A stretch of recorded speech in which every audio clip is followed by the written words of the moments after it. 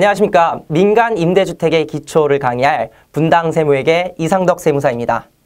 이전 시간에는 잠깐 건축법상 주택의 종류, 구분에 대해서 알아봤는데요. 이번 시간은 드디어 이제 민간 임대주택 기초의 마지막, 마지막 단계입니다. 말소에 대한 사유와 신청 방법인데요.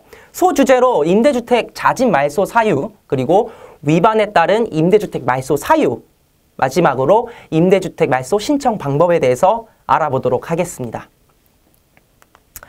임대주택 말소 사유에는요. 자진 말소 사유, 와 그리고 어, 위반에 따른 임대주택 말소 사유가 있습니다. 우선 임대주택 자진 말소 사유는 어, 과태료는 부과되지 않습니다. 과태료는 부과되지 않고 어, 다음에 따른 뭐 등록한 날부터 1개월 경과하기 전에 말소하거나 임대 의무 기간이 경과해서 말소하는 사유가 자진 말소 사유에 속하게 되겠고요. 그리고 이제 포괄 양도 양수 방법으로 양도하는 경우 그리고 양도 허가를 받아서 뭐 임대 사업자가 아닌 사업자한테 양도하는 방법 그리고 임대 사업자의 단순 중복이나 오류로 등록한 경우 마지막으로 임대사업자가 뭐 사망한 경우 이 경우에는 과태료가 부과되지 않는 자진 말소 사유에 해당하게 됩니다.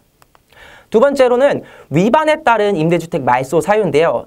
위반이기 때문에 말소 사유에 해당하면 과태료가 부과되는 점, 요 점이 이제 차이가 있습니다. 위반은 이제 거짓, 그 밖에 부정한 방법으로 등록한 경우, 그리고 등록 후에 민간 임대주택을 일정 기간 취득하지 않는 경우, 그리고 임대 기간 동안 이 조건 규정을 위반한 경우가 임대주택 말소 사유에 해당하게 됩니다. 이 밖에도 임대차 계약을 뭐 해제, 해지하거나 재계약 의무를 위반한 경우 그리고 준주택의 용도 제한을 위반한 경우도 어, 위반에 따른 말소 사유에 포함하게 됩니다. 임대주택 말소 신청 방법입니다. 신청 방법은요. 두 가지가 있습니다. 첫 번째로는 어, 주소지 관할 지방자치단체에 직접 방문해서 신청하는 방법이 있고 그리고 렌트홈을 통해서 렌트홈을 접속해서 이제 신고하는 방법이 있습니다. 어, 공통적으로 우리의 서류는 임대사업자 등록 말소 신고서를 요하고요. 그리고 개인과 법인에 따라서 어, 서류가 약간의 차이가 있습니다. 우선 개인은 어, 사업자 등록 증명 그리고 건물 등기사항 증명서 그리고 건축물 대장 그리고 주민등록표 초본을 요합니다. 법인은요. 이 세 가지는 동일한데 어, 주민등록표 초본 대신에 법인 등기사항 증명서를 필요서류로 요합니다.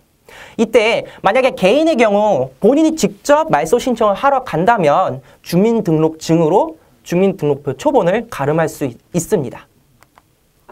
말소 신청 방법, 렌트홈을 통한 임대주택 말소 신청 방법인데요. 이때는 렌트홈을 접속하셔서 임대사업자 등록 말소 신고 메뉴가 있습니다. 그 메뉴를 클릭하고 그리고 등록 말소 사유를 선택한 다음에 어, 아까 설명드렸던 어, 필요 서류를 PDF 파일로 업로드하면 완료가 됩니다.